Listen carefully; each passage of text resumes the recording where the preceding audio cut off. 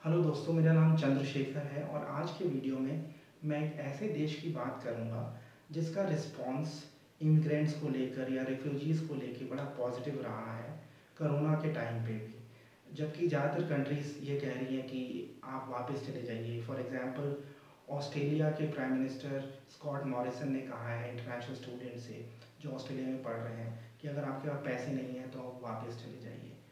ऐसे ही यूएस में जो H one B visa holders हैं मेनली जो सॉफ्टवेयर इंडस्ट्री में काम करते हैं, उसमें बहुत बड़ी संख्या हिंदुस्तानियों की है। उनसे कहा है कि वो भी वापस जाने की तैयारियाँ करें। तो इसलिए दुनिया भर से बहुत पॉजिटिव खबरें नहीं आ रही हैं। अब देखिए, हम ऑलरेडी बात कर चुके हैं यूएस और ऑस्ट्रेलिया की। तो ज़्यादातर कंट्रीज़ में इमिग्रेंट्स से ये कहा जा रहा है कि आप वापस जाइए, अगर आप खुद को सपोर्ट नहीं कर सकते हैं। लेकिन एक कंट्री है जहाँ से न्यूज़ पॉजिटिव है।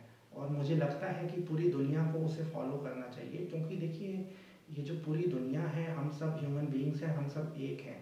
और जैसे संस्कृत में कहा जाता है मतलब इनफैक्ट हमारे कल्चर में कहा गया है, वसुदेव कुटुम्बकम, यानी जो पूरी दुनिया है, वो एक परिवार है। तो ऐसे पेंडेमिक के टाइम पे किसी कंट्री का ये कहना कि आप इमिग्रेंट हैं तो आप वापस चले जाइए, ये बहुत अच्छी चीज़ नहीं है। हाँ ठीक है आपको अपने देश के लोगों पे फोकस करना चाहिए, लेकिन आपको ध्यान रखना चाहिए कि जो इमिग्रेंट्स हैं, इनका बहुत इंपॉर्टेंट रोल रहा है आपकी कंट्री को बिल्ड करने में, खासकर ऑस्ट्रेलिया जैसा देश।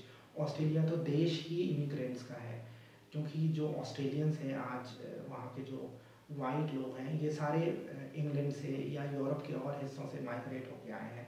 वहाँ के जो ओरिजिनल लोग हैं, जिन्हें एब्रोजन्स कहा जाता है, उनकी संख्या तो बहुत लिमिटेड है। इन सब कंट्रीज़ को ध्यान रख, ऐसे ही अमेरिका भी इमिग्रेंट्स का देश है। तो वापस मैं उस देश पे आऊँगा जहाँ से पॉजिटिव न्यूज़ आ रही है। और उस देश में मैं जनवरी में गया था, और मुझे भी वो देश बहुत अच्छा लगा था। ये यूरोप का देश है, और मैंने वहाँ पे एक वीडियो भी किया था। अगर आप इस वीडियो के डिस्क्रिप्शन पे जाएँगे, आप उस वीडियो का लिंक देख सकते हैं। उस देश का नाम है पोर्तगल पोर्तगल यूरोप का बहुत ही खूबसूरत देश है। स्पेन के पास पड़ता है और इसकी आबादी करीब एक करोड़ है। और इनफैक्ट एक चीज़ मैं आपको और बताना चाहूँगा।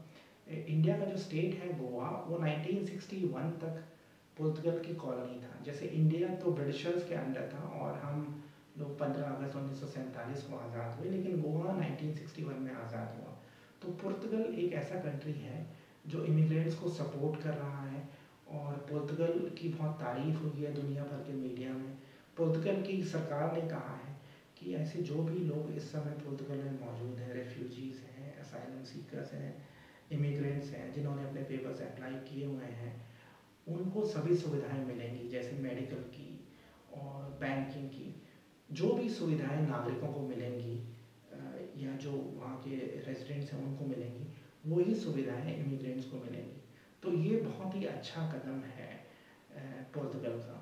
और अगर आप पुर्तगल के बारे में और जानना चाहते हैं, मैं जैसे पहले बता कि आप इस वीडियो के डिस्क्रिप्शन पे वो लिंक देख सकते हैं सेटल इन पोर्तुगल तो आप वो वीडियो ज़रूर देखना। मुझे उम्मीद है कि आपको ये वीडियो पसंद आया होगा। प्लीज़ मेरे यूट्यूब चैनल को सब्सक्राइब करना ना भूलें।